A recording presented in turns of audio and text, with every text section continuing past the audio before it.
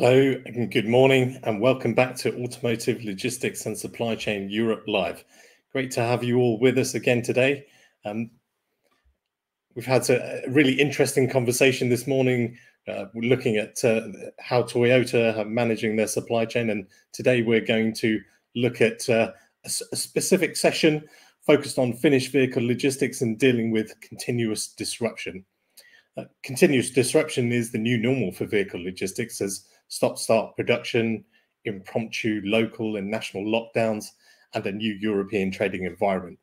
In this session, we'll discuss how OEMs and service providers are adapting their capabilities to scale up and scale down operations at short notice, redesigning transport networks and utilizing rail, ocean, and road to build greater resilience against the challenging, challenging headwinds of today's market. I'm joined today by Chris Godfrey, head of Global Head of Outbound Logistics of Volvo Cars, and Ruud Vossebeld, Director uh, Business Development at Inform. Um, great to see you, Chris, and and welcome to uh, welcome to the session. Um, and uh, of course, let me uh, congratulate congratulate you firstly on on, on your new role there at uh, at Volvo Cars. Yeah, thanks very much, Neemish. Um, it's a pleasure to be back, and I and I say that because as you know, I, I took early retirement from my previous role and did a little bit of consulting, and then was convinced um, by a, an old friend and colleague of mine that maybe I should invest a bit of time in working in a company in Sweden, being Volvo Car Corporation. And when I said yes, I, I didn't envisage for one minute that I would be starting on the 6th of April 2020 and walking into what I walked into, which was quite an interesting scenario. Um, and actually, just a, a, little bit on that journey, I've done one slide on that for me, which is sort of reflects the last year in terms of my time in Volvo cars. And, and, and if the guys could bring the slide up, it would be useful. Um, please.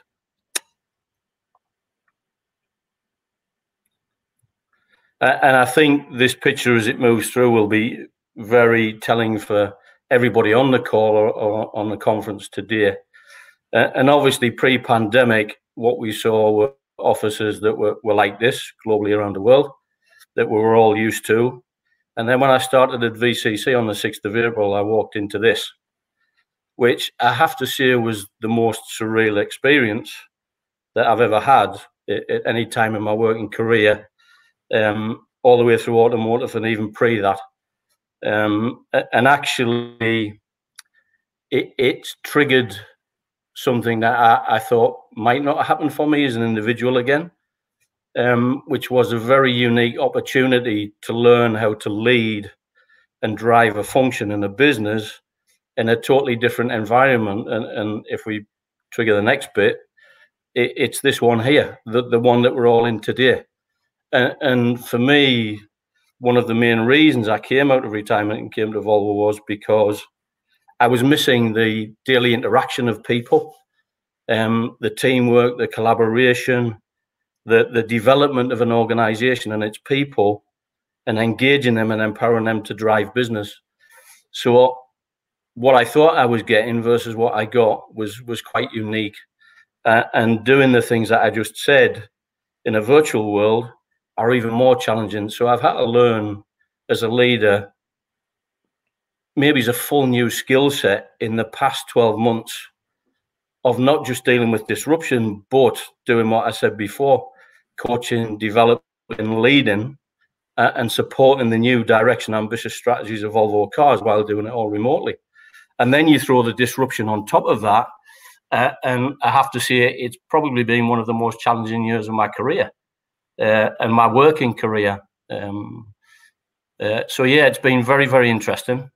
Um, I'm sure we'll move on to some of the very disruption topics themselves. Um, but one of the reasons that I've always really enjoyed supply chain and logistics, and, and especially outbound, is that one day has never been the same. Uh, and, the, and the last year, and things like Suez and Texas have just demonstrated again that it's never a boring job, which which I live for. It's great. Yeah. Yeah. Um, so yeah. Yeah, absolutely, and it's it's you know it's it's really interesting, right? Because you know, even for for us as a business, we, we, we, normally we'd be sitting there sitting here on stage, right, and doing this there, and, and having to yeah to to change um, change how that uh, how you, you change that environment is is completely alien to to a lot of people, right? And having to make that quick pivot, you know, plus for you for for, for you and your operations, you've got different facilities in in different places, right? How do you how do you communicate with those people? Yeah, for me personally, that's been that's been a particularly individual challenge for me because I'm very much somebody likes Gemba. I like seeing my operations. I like meeting the people that run our business for us around the world. Obviously, Volvo Cars has, has developed a lot, particularly since Geely and Volvo Car Corporation got together. And we have a lot of operations in China, which I've never physically seen or visited. And for me, as, as an OBL guy that started in operations running terminals and ports, they're the type of things I really like to see, to see where we have the opportunities to improve. Can we do things better? Can we motivate people to be more creative and innovative in what they do? And and by the same token, I've never been to Charleston yet, other than on holiday. Um, and that was a few years ago. So I've never been to VCCH in Charleston. I've never seen the plant. And yes, I've have daily meetings with the teams. But for me, it's one of those things that I think we've lost um, with the virtual world that we live in. This is a great example, conferencing and, and physical networking with people. I'm a very sort of tactile. I like to be in touch with things um, and people. And social media and everything else has made it a lot easier for us to communicate. But I still feel we miss a little bit of that human interaction thing and and for me, interpersonal relationship skills very much lend themselves to face-to-face type meetings and discussions. Uh, and I hate to think what it would have been like for all of us without some of the technological advances that were mentioned yesterday in the early session by Lars about his dad in Mexico and stuff like that, and communicating by by letter. Um, what would it have really been like, yeah, for us all if we didn't have this wonderful technology? Which at the same time can be slightly frustrating when the digital world starts to crumble a little bit under the weight of everybody suddenly jumping online. And I think we've all probably experienced that in our personal communications with families and, and friends as well as in work. And, you know, it, it's a unique year, which is spreading into a unique year and a half now, prolonged by semiconductor and, and other things. Yeah. Yeah, exactly. I think yeah, think you're absolutely right. I think uh, you know that ability to kind of switch and change and keep up with technology. You know, um, having to set up my mum uh, with her iPad to do a Zoom call with the family was uh, remotely as well, right? yeah. was challenging itself, right? So, and, yeah. and that, that, that story that Lars told yesterday was was fascinating as well. And you, are right. I mean, I think uh, we'll we'll come back and, and talk more about the kind of the operational challenges that um, that you've had to go through. Uh, I know there's uh, probably no doubt a long list of those that uh, that we can go through. But uh, yeah. let me just take uh, an opportunity to to to bring Ruud into the conversation. I know he wants to talk about some of the conversation, some of the um, challenges that he's seen from his perspective. So, Ruud, Ruud why don't you um, share with us some of your thoughts and uh, on some of the disruptions that that that you've seen. Yes, thank you very much, uh, Neemish. Um, I'm sharing my screen. Can you see it? Yeah. Okay. Uh, yeah, I think uh, last year March was uh, the beginning that we got a signal that we shouldn't shake hands anymore when we were at a customer in France. That was uh, a strange situation, but within a month, I think everyone was fully aware that there was a new normal. Um, it was not nice that we couldn't travel anymore, eh, but the other side, uh, we also saw a lot of very blue skies, more sunshine, and it looked like that climate also got a, the right sort of positive impact from this uh, COVID 19 situation. So it was not only bad, I think, that we have learned during the COVID uh, situation. Um, later on, we noticed that suddenly the semiconductor world got in trouble, or especially automotive industry related to the semiconductor world. And thinking back, that had all to do with all the forecasters in the automotive industry who first were shocked because of the COVID situation and thought, okay, let's make forecasts which are lower than we had thought in 2019. But the interesting thing was that especially other industries like electronics, high tech, laptops, they got a lot of extra requests. And I saw it with my daughter. We ordered a laptop for six months ago and we just received it yesterday. Yeah, so it takes so much longer also to get the products from other industries these days because of the semiconductor uh, scarcity. What's very interesting, what I've learned as well in the semiconductor world, is that a company like Toyota had almost no problems. Uh, and understanding they typically work just in time. But we have learned this morning, I think, from Leon as well, that just in time doesn't mean that they have not so much stock, but they should have the right stock. And it looked like they found a way to find the right stock also for semiconductors. And when you compare that with Volkswagen and GM, we have seen that they are in more trouble and that they lose at least 100,000 cars in the first quarter this year because they had not made the right plan uh, to prevent the semiconductor crisis. In the last weeks, we heard about the Suez Canal uh, problem. And looking back to that, I, I feel that this was more that there was a shock. Hey, there is a problem. And what if that takes maybe a month or two months that that ship is blocking the canal. Eh, in the end, it was only 10 days and the problem was solved again. So I feel that when it was solved, then also for most of the companies, the problem was over because 10 days is something to oversee. It's, it's, it's more the low risk than the big risk. But I think many people start thinking, okay, what can happen? If this happens in the future, two or three months that the ship is stuck in a channel, and what would be the consequence then. So I think everyone start now really thinking again about supply chain and how to mitigate the risk and also wonder should we really have suppliers far away and transport far away or maybe do things closer to home? Yeah thank you Ruud. That's, that's really interesting. Um, and, and, of course you know let's let's maybe bring this back to to where we first started right? And and you know for, for you, Chris, how did you make that pivot, right, when you're having to face this this shutdown and, and fight for space and capacity? Yeah.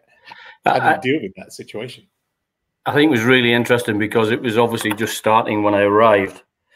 And, and I think VCC or, or Volvo Car Corporation, as we like to call it, um, I think we handled it better than most because in reality we were shut down for a very limited time and started up again relatively quickly. And and I think one of the assets for us with our current size was that we weren't asking for the same amounts of things that other bigger OEMs were. So maybe it was easier for us to get parts to keep our supply chain running. Um, that doesn't demean all of the work that the procurement people had to do to get the, the stuff that we needed. But from an outbound perspective, when I walked in, because of the uncertainty, we were holding cars and looking for space, let's say closer to home, um, and not moving them necessarily into markets because we didn't have the visibility. If I think about Italy, when I walked in, we were holding X of X amount of thousands of cars, either in Gothenburg or in Belgium, because we didn't know what the condition was. Uh, and luckily, we very quickly established that the because the rest of the world had shut down very quickly and pretty much stopped production where we hadn't, um, that maybe there wasn't the same amount of impact that we thought there could be, and holding on to cars wasn't the right thing to do. So we pushed a little harder, and we managed to rail cars down to, to Italy. We managed to push cars into the UK because we weren't seeing the, the, the real impact that we thought could happen. So maybe we reacted a little bit quickly, but then very quickly got on top of it and thought there's still a gap and there's still space. We just have to convince people to do it. And working very closely with our supply base, and I have to, I've got to congratulate all of them. It's not been easy for any of them. Um, we managed to do what we needed to do to keep ourselves running and not come to a standstill and stop plants. It, it was really excellent from the supply base. Yeah. Yeah, yeah. I mean, I think you know that's a key part of it, right? Everybody coming together and being able to adapt together, right? And and, and to meet everybody's needs because you've got your challenges, right? But they're, they're you're not the only car car maker in the world, right? Uh, that's trying to ship cars. And I think I think one of the biggest issues throughout the whole thing, Neemish, not just at the start, was because the majority of the other OEMs were shut down while we were running. Clearly, for the supply base, that's a big issue because they're not getting the return flows, their circular economy, where they're trying to reduce empty kilometers, and we're asking them to do things that aren't complementary as they normally are with return flows from other OEMs the places that we're picking up from are going to. And, and that took a lot of work and collaboration with the supply base to do what we wanted to do. Uh, and I think also the fact that we we were focusing more on making sure we were moving cars that we needed to move when we needed to move them, and our forecasting was quite probably better actually than it's ever been before in that critical time because we needed to be sure that we were for asking for capacity that was really needed uh, and and for where it really needed to go. Um, and, and, my team um, not just here but globally we managed to do that in all of the regions. So APAC Americas and EMEA um, very very successfully. Yeah um, so I think the collaboration element probably came to the fore last year and continues into this year whilst still running the business and and trying to do what we're meant to do. And and I've really appreciated the comments whether it's about semiconductors or cars. It's about moving the right cars at the right place at the right time to the right at the right time. Um, and that's never lost its mantra for outbound. Yeah. Yeah absolutely. I think that that that also comes back to to kind of yeah being efficient in in that supply chain planning, right, and having that visibility, right, and, and maybe Ruud can can uh, add here a little bit as well in terms of you know that those tools and the the, the ability to get that holistic view of of the supply chain, where the bottlenecks are, and what other companies are doing, and which route, routes are they they're using, so you can again collaborate and make best use of those those the, the capa available capacity. Yes, for sure. We see our customers uh, more and more uh, seeing the need that they have for uh, visibility. They want to be informed, more proactive. Also, what Leon told this morning from Toyota, they want to know where the risks are in the coming weeks, especially when they already know that flows maybe in Japan are disrupted. What will happen in the next three, four weeks? Uh, that in Europe then, how can you prevent that uh, ports will be blocked by too many ships at the same time? So I think that's the new trend, also how uh, big companies try to prepare better for disruptions to come. Yeah, thanks, Ruud. I think I, I, think just coming back on that, Neemish, if I can, when when I came here, our planning horizon for things like deep sea was quite short. And, and very quickly we moved to a three months rolling period horizon for planning for deep sea uh, and six weeks on short sea intra-European um, and extending that to a three month horizon because for me that that's the sort of practice and commitment as an OEM we should be making to the supply base. This is our forecast for a longer horizon to understand, for you to understand what our intent is, but also for you to plan better. And and it's 12 weeks for a reason on average for deep sea because normally cyclic return journeys or, or, or turns between regions is around about six weeks, 42 days. Um, some extension of that at certain points in time, but that's why it's at a three month period to give a level of security for what we need from a capacity point of view but also for the suppliers to understand what our expectation is. And I think that was very much appreciated last year by the supply base that we extended our planning horizons, became more focused on planning and measuring our actuals to see where where we were good and where we needed to improve. Um, and that really bore fruit for us the, in the end of year last year, where it, it was recognized within the company that it was probably the best that Volvo cars had ever had in terms of end of year planning and delivery, which was great. Yeah. Yeah.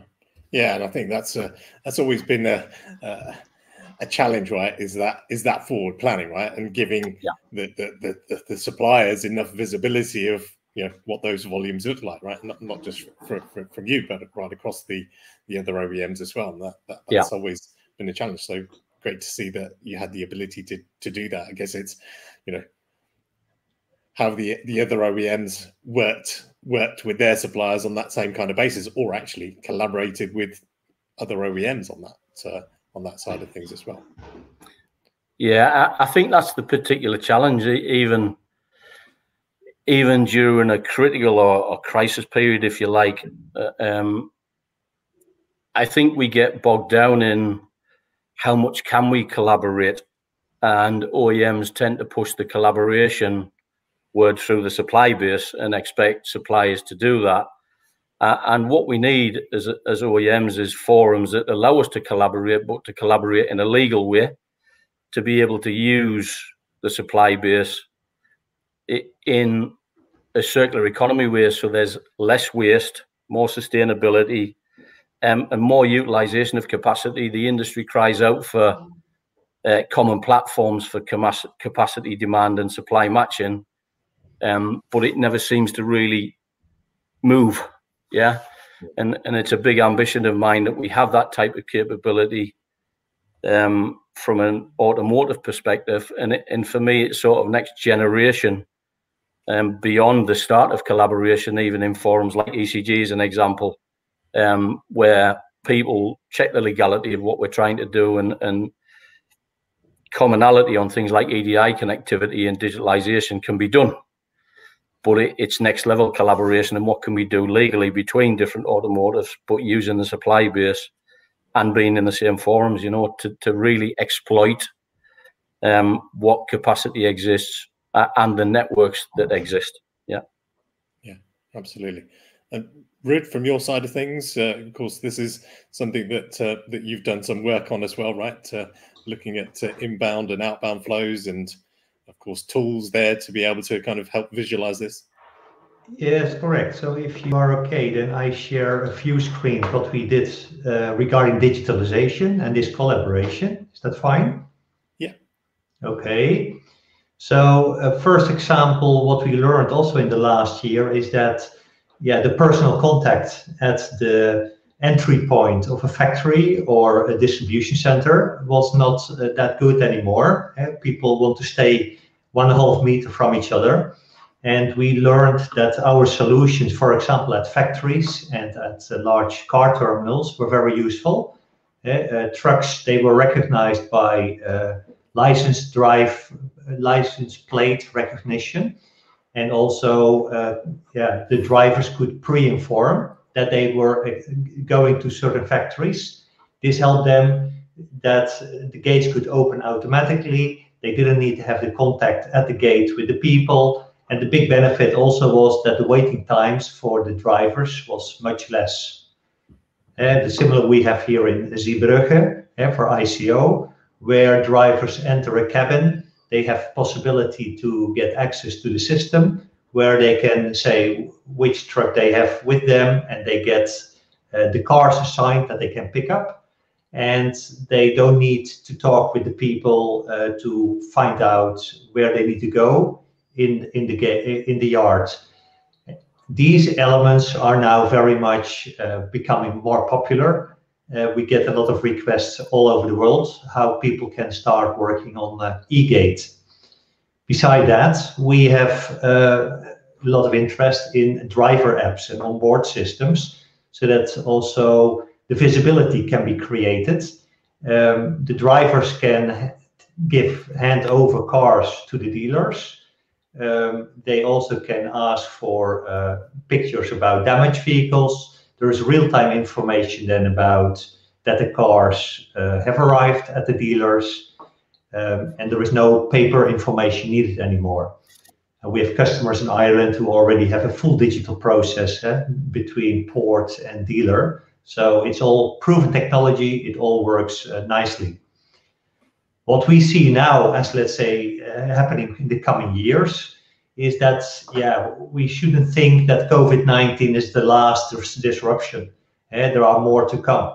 And one of the big things we expect is, uh, yeah, the climate change discussion and we've seen that in the last uh, days as well in the conference. Uh, yesterday, time came up uh, with this picture, climate is everything. So probably that will be the big discussion in the coming years. We know Europe is talking about the Green Deal. ACEA already says, yes, we are fully supporting the Green Deal. And today, the latest news was also that now there is a sort of commitment in the EU that we should find 55% CO2 reduction till 2030. So the big puzzle, I think, is how to make it work. Uh, which pieces of the puzzle do we all need to, to go to that 55% reduction? And additional on top of it, uh, some big companies like Volkswagen, they say we need to manage and push that strong enough. So we possibly also need a CO2 price in Europe.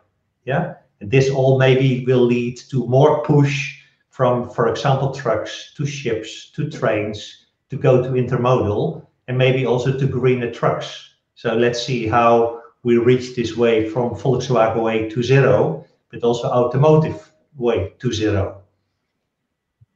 So one of the things we are studying in Inform, and I think this is an activity maybe useful for the full automotive industry in Europe, is one side we know where all the factories are, the other side, we also see a lot of new suppliers are coming up, especially in the battery world.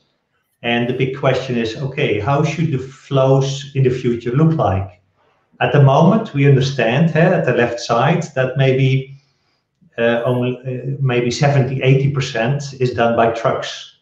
The big question is, is that the answer to come to the CO2 zero question, or are there different ways? As Inform, we, we have tools in place like network planning, and this network planning uh, can map uh, all the factories, all the distribution centers, the emissions, and also the full supply chain. And when we use mathematics, then we can optimize all the flows in Europe and look to objectives like either CO2 reduction or cost reduction or lead time reduction. Yeah, we did a study a few years ago uh, where we checked how could, could we look to the network from a cost optimal view, a lead time optimal view, and a CO2 optimal view. And what you see is that the challenge is big because when you think about a CO2 optimal view, there is always a risk maybe that costs can go up as well. And I think that's the balancing act the coming years. What can we do to not only uh, find CO2 reduction, but also that we can find at the same time cost reduction. A study we did as well is to see how can we help uh, to understand this automotive industry better with all the vehicle flows which are going around in vehicle logistics. Eh? And at the left side, you see basically all the countries who produce cars and the distribution flows to different countries. Then the question was, is there a way maybe to combine outbound flows and inbound flows and, and together find more clever transport modes? At the right side, we also can see where the engine and the transmission factories are. Then today we know that EU has been working a lot on defining all sort of corridors for Europe, where trains easily and quick uh, should go uh, from, let's say, Turkey to Germany, for example. And I think now it's the time that we map the real network with the automotive network. And what could happen is that, yeah, when we do that in the right way, we could set up a sort of metro system uh, for the European automotive industry. Yeah, a metro system where you have fixed schedule every week for the trains, that you can combine the vehicle logistics with the inbound logistics. And the greatest step would be if we can make it work as automotive, then as a next step, we could ask big players like IKEA, like Procter & Gamble, maybe to start uh, using these lines as well, uh, so that more volumes give more frequencies, shorter lead times. It could be win-win-win for everyone. So that's a big question. If we can come to such a collaboration in Europe, uh, we think there is maybe a chance to bring car makers together, battery suppliers together, logistic companies, and try to find ways how to bundle flows to complete the loads, how to find backloads for transport, how to find reduction in cost, reduction of CO2, And the ultimate goal is to find win-win between, between companies and also help that way to go to a more climate neutral solution for Europe. So very interested to discuss that further with you, Neemish and Chris, to see if you feel there are some possibilities in that area. Yeah, thank you, Ruud. I think uh, thanks for running through that. Some interesting there, interesting slides there. Of course, looking at the flows. Um, yeah, let me let me uh, ask Chris to uh, give his thoughts on that. There's clearly some. There's a whole kind of sustainability and CO2 footprint there. Then there's that optimization of the network, inbound, outbound flows, etc. So, um, I'll let you decide which one you want to pick up on, Chris. It, it, it's uh, and we didn't plan that segue into to Ruud's presentation. By the way, that just happened with me talking about collaboration. Um, it, it's it's very much what I have believed for years the industry needs to do.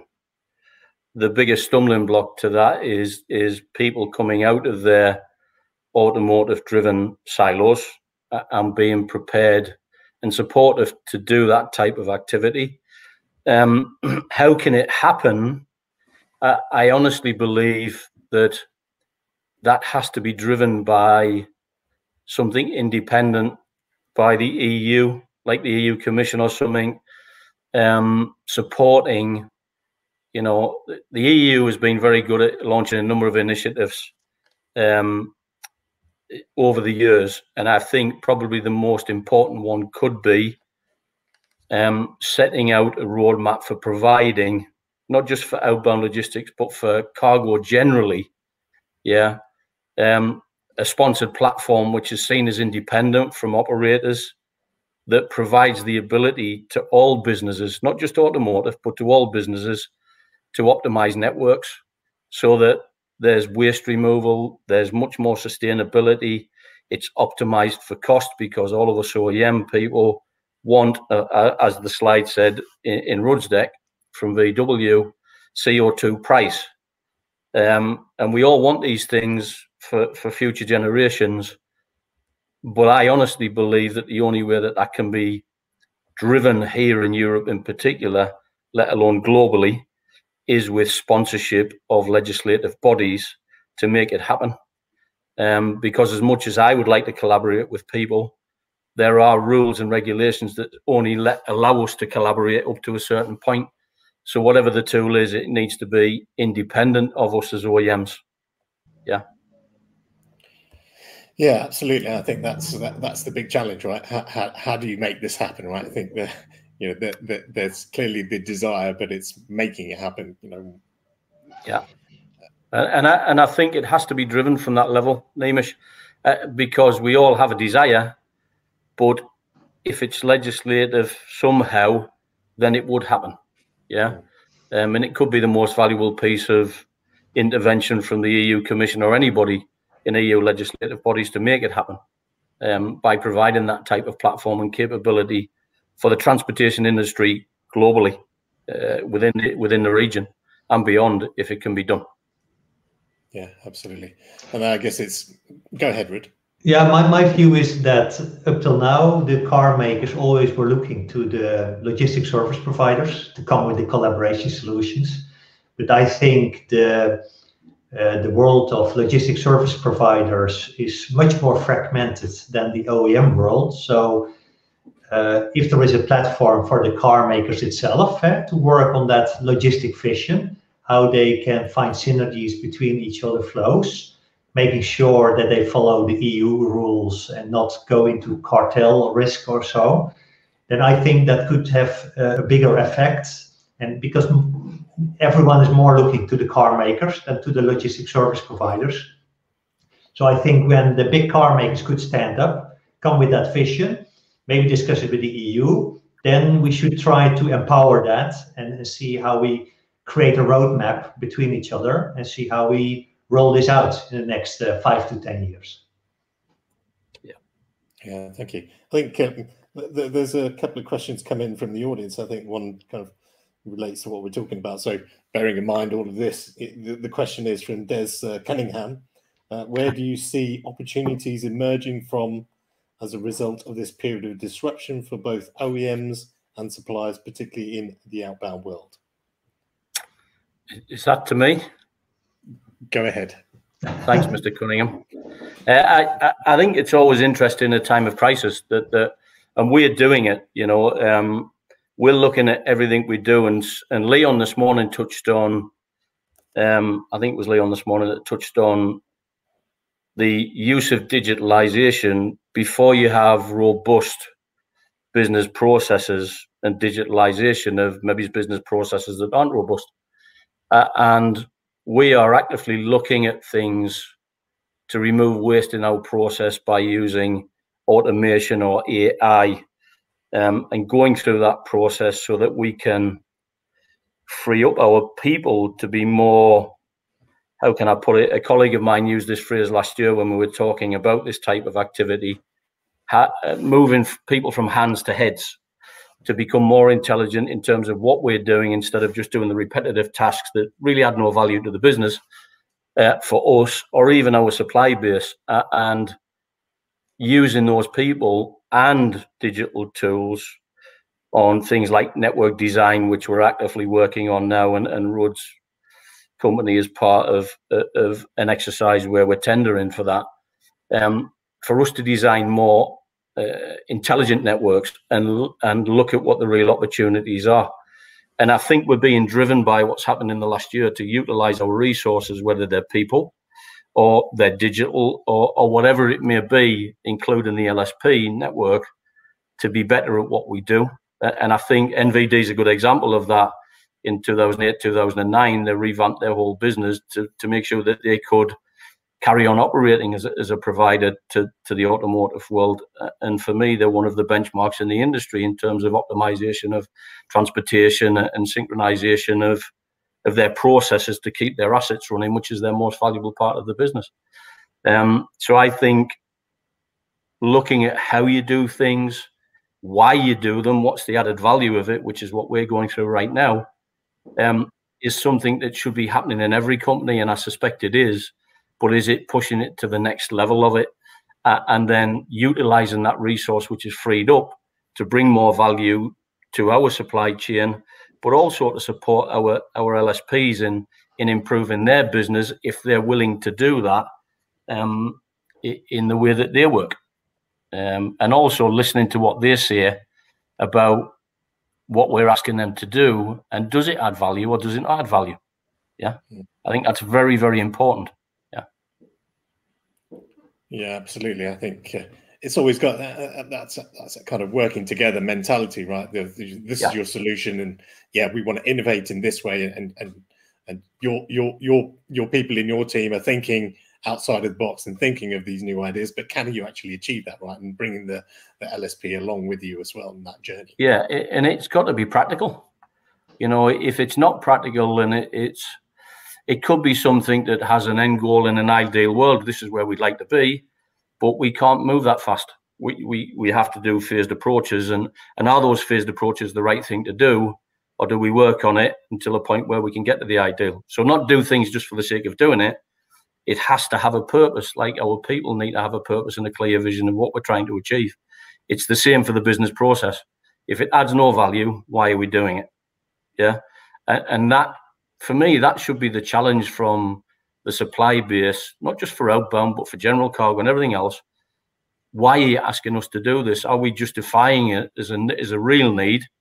And, and going back to previous roles and my new role, which is also the engineering and network design, are we asking for things to be over engineered instead of not being so engineered and being more sustainable from a cost to CO2 perspective, etc., etc.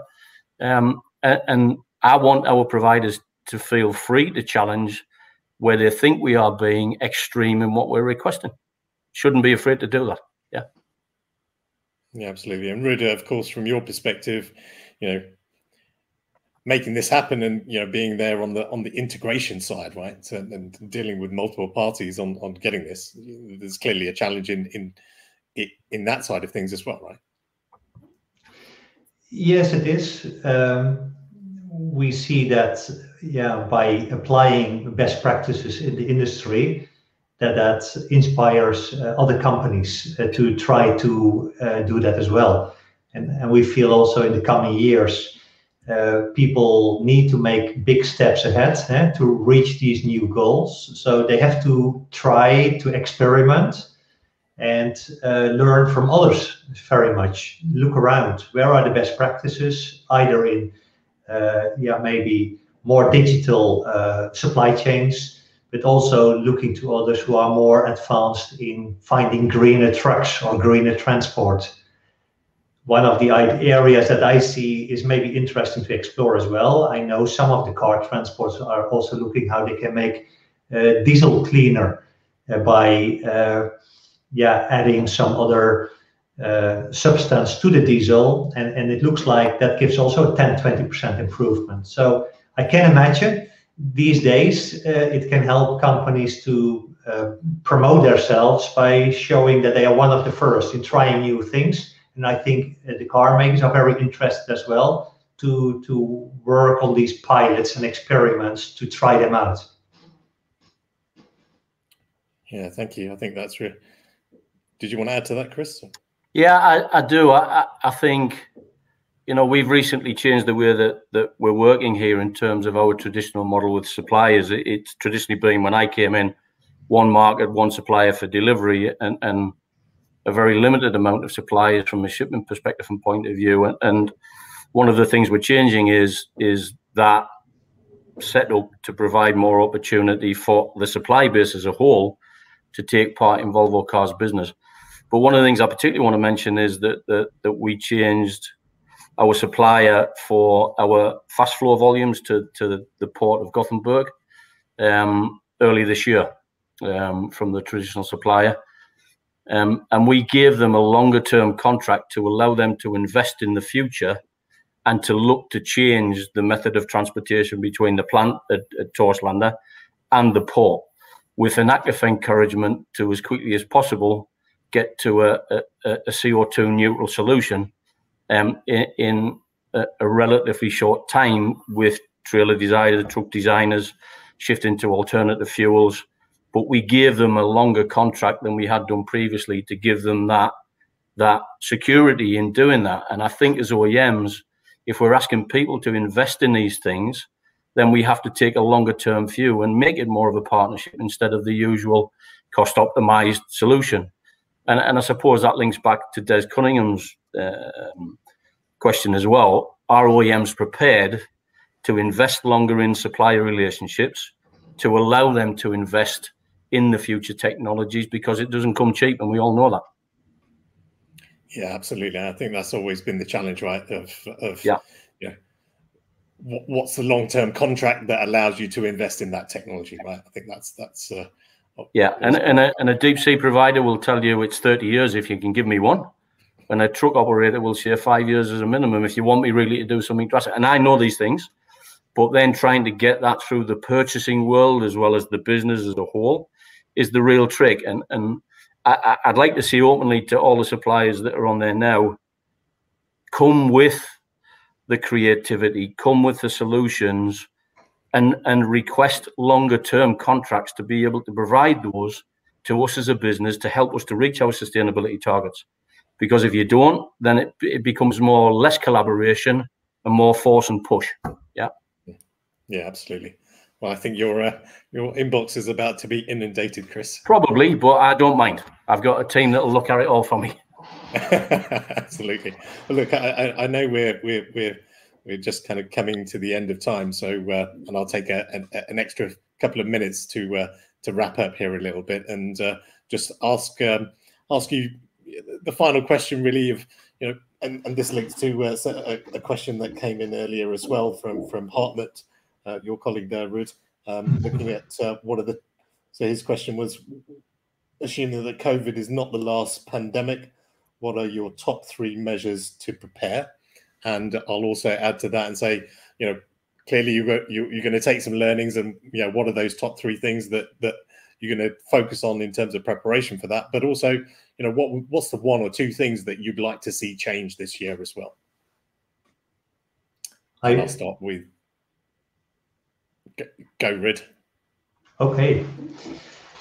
Uh, what we like to see change this year. Um, Now, I, I, I, imagine that one of the lessons that we have learned in the last year is that Toyota, for example, was more prepared on such a semiconductor supply chain problem than the rest of the industry. And I think that's a very quick lesson for other car makers uh, to study. What did Toyota do? What they didn't do yet to prevent that such uh, supply chain disruption next time uh, can be prevented. And I think what people learn now is that digitalization is step one, but the next thing is they need to be more predictive as well. They need to look uh, weeks and months ahead and uh, try to be uh, to try to make a sort of forecast how their supply chain is moving.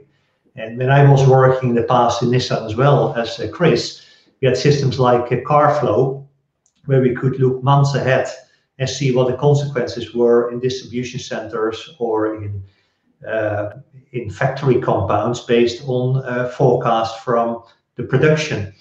And I think these sort of tools are needed in the industry to learn and to uh, evaluate these different scenarios uh, quicker.